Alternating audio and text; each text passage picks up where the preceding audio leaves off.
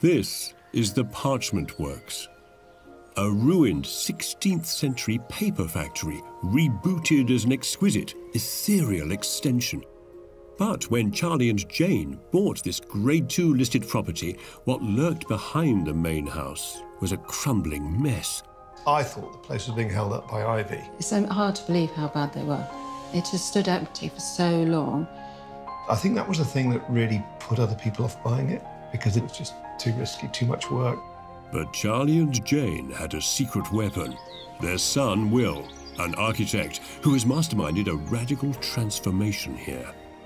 Welcome. Thank you very much. It's a really, really interesting place.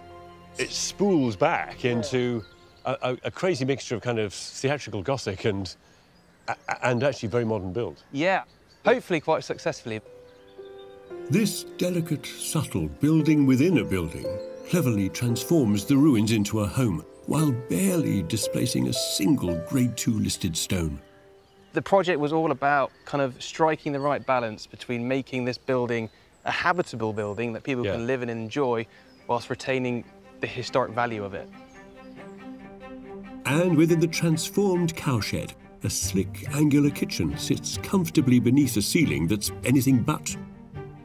That's, that's a crazy world of wonky, isn't it? That's your old ceiling, which is... Yeah, this is the original ceiling, yeah, it's all over the place. I noticed on this beam, there's a great big nail. Yeah, our brief to the builder was whatever's there, keep as much as you possibly can. I mean, there are rusty nails on all of these walls where they used to tie animals up to it. There's a load of what we think might have been lime paint that's been thrown over one of the ruined walls. The builder was determined to scrub it off.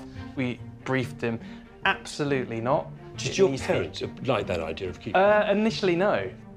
It might be marked by time, but there's nothing scruffy here. All this is the result of an arduous one-year project, made all the harder by the fact that Will and his team were being watched.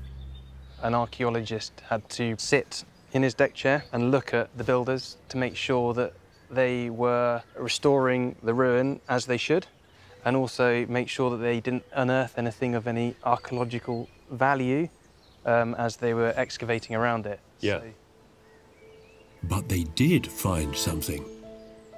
An ancient stone bath once used as part of the parchment making process.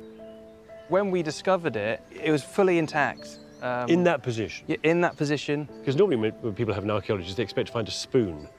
Yes. You know, or a, yeah, and they 19, get very excited about the spoon. 1940s HP sauce bottle. But this, this is something else. It was a bit of a find, yeah. By absolute luck, it lined through with that window at the end. I can't lay claim to that. That is purely by chance. Yeah, well, that's, isn't that a beautiful thing? Yeah. I mean, you know, a bit of providence. I think this is beautiful, this place. I think it's beautiful because of the way that it manages two quite competing agendas. One is the historical approach where everything is conserved and repaired and there's so much detail and there's a danger of being engulfed by fiddly twiddle. And the other approach where the modern is introduced, which, which can threaten the old. It, it, it can be blisteringly aggressive. Here, well, this building treads a fine golden line between them. And the result, the result is something quite delicate, quite romantic, in fact. Well, this is going to be really fun.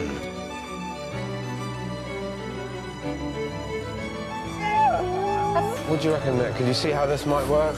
Yes, I can. That is a first for me. You don't have no idea what happens in the future. You, you can't see the future. Anything could happen. Oh, wow. You've done it. Beautiful.